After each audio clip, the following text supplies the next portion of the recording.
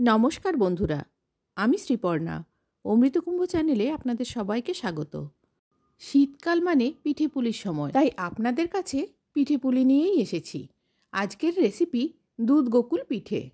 খুব সহজ উপায়ে কী করে এই পিঠেটা বানাবেন আমি আপনাদের দেখাচ্ছি। পিঠে তো খুবই সুস্বাদু হয়, তাই স্বাদের ব্যাপারে আর আপনাদের বলব না। প্রথমে নিচ্ছি নারকেল কোড়া। নারকেল কোড়া দিয়ে পুর বানাবো। তাই নারকেল কোড়ার পরিমাণটা পিঠের পরিমাণের ওপর নির্ভর করবে। আসুন, আগে পুরটা বানিয়ে নিই। মিডিয়াম টু লো ফ্লেমে একটা কড়াই বসিয়েছি, তাতে গুড় নিয়েছি। আমি এখানে খেজুর গুড়ের পাটালি নিয়েছি। পাটালিটা আস্তে আস্তে গরমে গলতে শুরু করেছে। এখানে আমি আড়াই কাপ গুড় নিয়েছি। নারকেলের পরিমাণ বেশি হলে গুড়ের পরিমাণ বেশি হবে। আপনারা যদি কম নারকেলে করেন, তাহলে গুড়ের পরিমাণটা কম নেবেন। গুড়টা গলে গেছে। এবারে এর মধ্যে দিয়ে দিচ্ছি নারকেল কোড়া।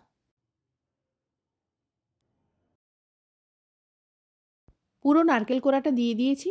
এবারে খুন্তি দিয়ে নারকেল কোড়ার সাথে গুড়টা মেশাতে থাকব। গুড়টা পুরোপুরি নারকেলের সাথে মিশে যাওয়ার পরে আধ ঘণ্টা নাড়াচাড়া করে যেতে হবে। এটা হচ্ছে নারকেল নাড়ু যেরকম বানানো হয়, সেই প্রসেসেই বানাতে হবে।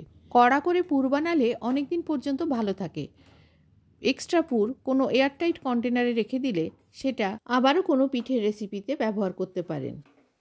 নাড়াচাড়াটা ক্রমাগত করে যেতে হবে। খেয়াল রাখতে হবে তলায় যাতে না লেগে যায়। আর গুড়ের পাক ধরা পর্যন্ত এই নাড়াচাড়ার কাজটা করে যেতে হবে। কিন্তু এটা মিডিয়াম ফ্লেমে রাখা যাবে না, একটু লোয়ের দিকে রাখতে হবে ফ্লেমটা।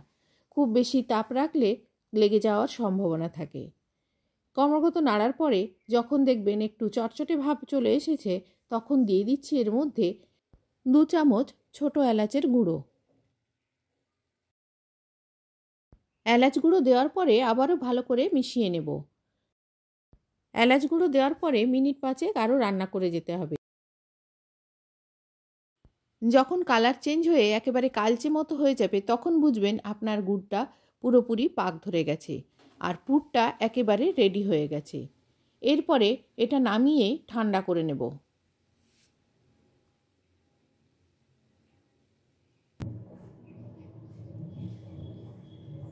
ঠান্ডা হয়ে গেলে হাত দিয়ে একটু করে পোর্শান নিয়ে দু হাতের তালুর মধ্যে পাকিয়ে চ্যাপটা বলের আকারে গড়ে নিতে হবে।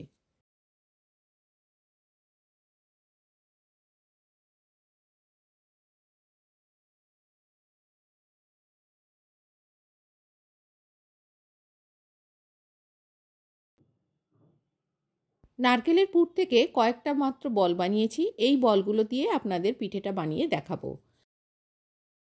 এখানে আমি দেড় চামচ বাটার নিয়েছি। বাটারটা একটু গলিয়ে নিয়েছি। এক কাপের একটু কম ময়দা দিয়ে দিচ্ছি এর মধ্যে। বাটারের সাথে ময়দাটা ভালো করে মিশিয়ে নেব। এবারে এর মধ্যে দিয়ে দিচ্ছি দুধ। দুধটা ফুটিয়ে নিয়ে ঠান্ডা করা দুধ। পুরো দুধ একেবারে দিয়ে দেব না। একটু করে দুধ দেব আর মেশাতে থাকব, তাহলে লামস হবে না। এরপরে আমি এটা হাত দিয়ে মেখে নিচ্ছি। ব্যাটারটা এরকম কনসিস্টেন্সি হবে। খুব বেশি পাতলা করবেন না, তাহলে কোটিংটা আসবে না। একটু ঘন দিকেই রাখতে হবে। গ্যাসে মিডিয়াম ফ্লেমে একটা কড়াই বসিয়েছি। ভাজার জন্য দিয়েছি গ্রাউন্ড নাট অয়েল আপনারা যে কোনো সাদা তেল ব্যবহার করতে পারেন। এই কনসিস্টেন্সিতে ব্যাটারটা রাখার পরে এবারে একটা করে বল আমি এর মধ্যে দিয়ে ভেজে নেব। দেখুন, ব্যাটারটা কিন্তু পাতলা হলে এই কোটিংটা আসবে না। এইটা আপনারা একটু সাবধানে করবেন, যাতে কনসিস্টেন্সিটা ঠিক থাকে। তাই ময়দার সাথে দুধটা অল্প অল্প করে মেশাতে থাকবেন। এদিকে তেলটা গরম হয়ে গেছে। নারকেলের বলগুলো ব্যাটারে ডুবিয়ে গরম তেলের মধ্যে ছেড়ে দিচ্ছি।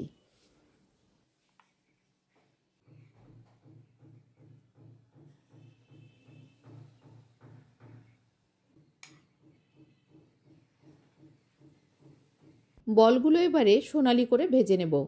এক পাশ ভাজা হয়ে গেলে একটা একটা করে উল্টে দেব অপর পাশ ভাজার জন্য।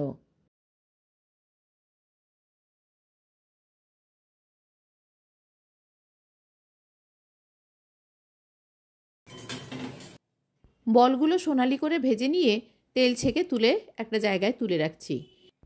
আরও যে কয়টা বল বানিয়েছিলাম সেগুলো একইভাবে ব্যাটারে ডুবিয়ে ভেজে রাখব। রেসিপি ভালো লেগে থাকলে যারা এখনও চ্যানেলটিকে সাবস্ক্রাইব করেননি, তাদের কাছে অনুরোধ চ্যানেলটি সাবস্ক্রাইব করার। এবারে এই পিঠেগুলো দুধে সেদ্ধ করব। সেজন্য একটা পাত্রে প্রথমে গুড় নিয়েছি, তারপর বেশ খানিকটা দুধ দিয়ে দিলাম। এবারে এই দুধটা ফোটাতে থাকব। আর এর মধ্যে দিয়ে দিচ্ছি দুটো এলাচ ফাটিয়ে।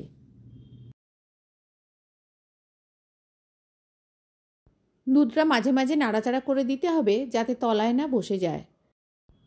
এরপর এর মধ্যে এক এক করে ভেজে রাখা পিঠেগুলো দিয়ে দিচ্ছি। সমস্ত পিঠেগুলো দিয়ে দেওয়ার পর আরও কিছুক্ষণ ফুটিয়ে নেব। মিনিট দশেক ফুটিয়ে নিয়ে একটু ঘন হয়ে গেলে আপনারা নামিয়ে এটা ঠান্ডা করে পরিবেশন করতে পারেন, অথবা যখন একেবারে শুকনো শুকনো হয়ে যাবে সেরকমভাবেও পরিবেশন করতে পারেন। দুটোই খেতে খুবই ভালো লাগে। আজ এই পর্যন্ত, দেখা হবে অন্য কোনো দিন, অন্য কোনো রেসিপিতে ততদিন পর্যন্ত সবাই ভালো থাকবেন, সুস্থ থাকবেন, আর আনন্দে কাটাবেন। ধন্যবাদ।